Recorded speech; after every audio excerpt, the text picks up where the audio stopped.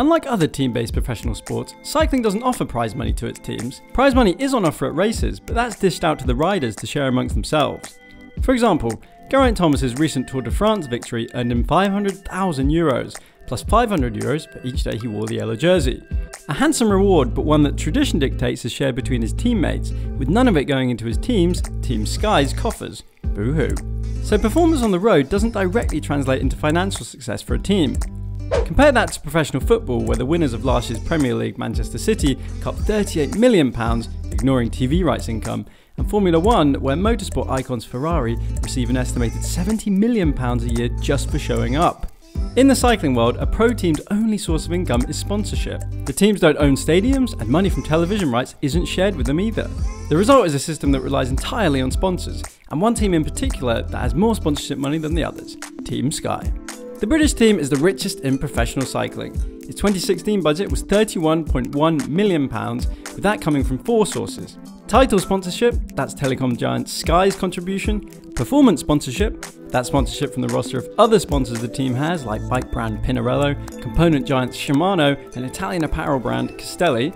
Race fees, paid by race organisers, and so called value in kind. That's the value of goods and services provided to the team, which could include their bikes, for example.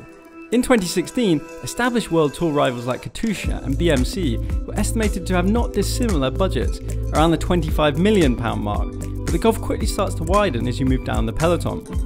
Belgian team Quickstep's budget was estimated at £15 million, Spanish team Movistar's £12 million a year, and Mark Cavendish's Dimension Data were operating on just £10 million a year.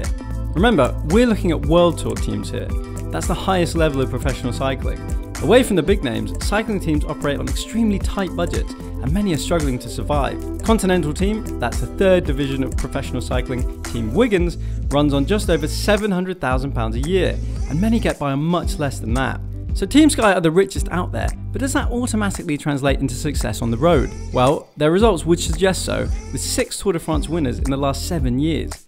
In short, their budget means that the team can attract the very best riders in order to dominate races. Sky spent 77% of its 2016 budget on riders and support staff, which means they have their pick of the very best riders.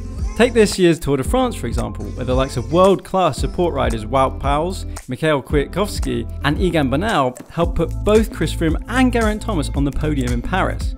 Sky is thought to pay Froome at least £4 million a year, and Thomas who up until this year was Froome's chief domestique, around £1.5 million a year.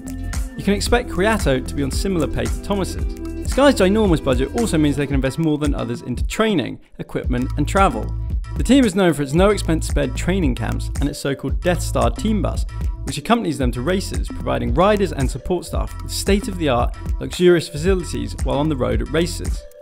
So Team Sky financial dominance is clear to see, but is it right? Could a salary cap be the answer to level the playing field? Some think so. Even UCI President David Lappartient is in favour of the idea, saying that it would help stop richer teams controlling races by riding at the front all day, a tactic we see Sky use all the time at the Grand Tours.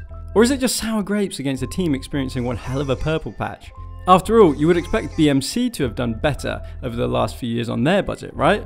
What about sharing some television rights money with the teams, with the smaller teams receiving more than the wealthier ones? Would that make a difference? Surely it would make sense to reduce pro cycling's reliance on sponsors. Guys,